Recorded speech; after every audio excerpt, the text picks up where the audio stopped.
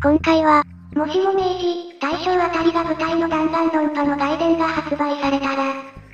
に対するみんなの反応集です。それではどうぞ。レジュアルや大楽天裁判みたいに本編のキャラたちの先祖が登場するパラレルワールド設定で、セレスの先祖が山田体系貴族で、山田の先祖がセレス好みの美形従者世界線見てみたい。からくりキーボ。ふむ、このような状況ただ人では殺すことなどできない。つまり、黒幕は間違いなく江ノ島の先祖。逆に苗木の先祖が黒幕で、江ノ島の先祖が主人公的存在でもあつそうもちろん先祖代々超高校級の希望苗木先祖絶望江ノ島先祖も見たいけど、希望を独りよがりな希望にして、超高校級の絶望がひっくり返すとかそう私があんたの絶望だみたいな。枝とか天眼とか独りよがりな希望がすでに本編でもいるんですけど、戸上とかお家系の先祖はかなり気になる。現代ですら総じて血の気が多いらしいクズ流とかどうなってることやら、天子の先祖が男で時代的に女子、とかいうキャラだったら、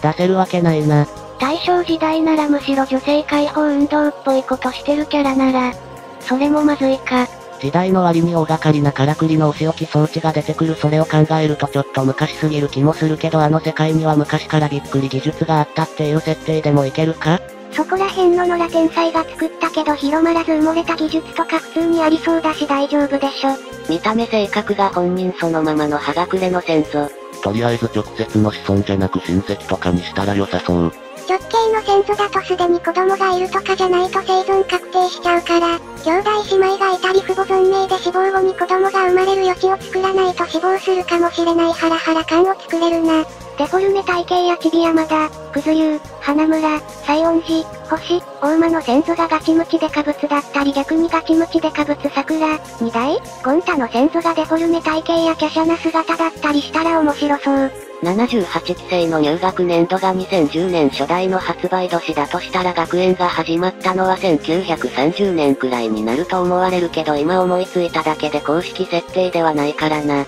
元は戦争に備えて才能のある生徒を集め出した、みたいな想像ができるから割とリアリティあんだよなこの妄想。石丸のじいちゃん世代に当てはまりそう。これは超寺子野球の探偵に違いない。右の明治館よ。お仕置き前のゲームフードットへの演出は白黒アニメーションか紙芝居になりそう。時代設定は昔なのに謎技術でハイテク機械が出てくるバイオショックインフィニットみたいな世界観になるんだろうか。衣装とか女子の考えるの楽しそう。石丸はそのままでもいけるし諸生風でもいいな。七海のご先祖様はおはじき遊びとか花札が得意になったりするのか？新宮寺のご先祖様とかガチで陰陽師とかお祓い屋とかで逆転裁判味がありそう。ちなみに大正っぽいグッズは出てる。かわいい。デフォルメされてるからか山田が異様に可愛く見える。